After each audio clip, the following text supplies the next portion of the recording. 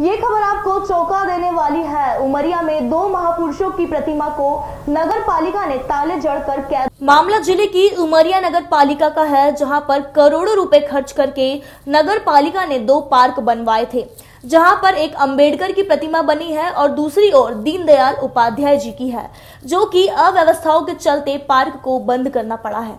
जिससे इन दो महापुरुषों की प्रतिमाएँ भी ताले में बंद होकर रह गई।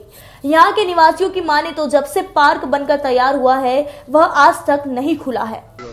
सर, ये जब से ये पार्क बना है, ये पाँच साल से ज़्यादा हो रहा है। जब से बना पहले तो ठीक था। अब ये बीच में तीन चार साल से होगा, जहाँ कोई साफ़ सफ़ाई होती, ना पानी सिंचाई होती, कुछ नहीं होता, इसे सूखा पड़ा है। आज यहाँ पूरा गंदगी रहती है पार्क भी में गंदगी रहती है उसके लिए कोई ध्यान नहीं देता।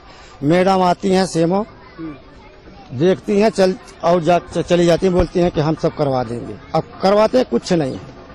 वहाँ के कर्मचारी जितने नगर पालिका के आते हैं मैडम को बोल देते हैं कि हम यहाँ आते हैं डेली आते हैं। यहाँ कोई नहीं आता भैया जी। कभी सफ़ाई नहीं होती। मैडम बोलती हैं कि हम ठीक हम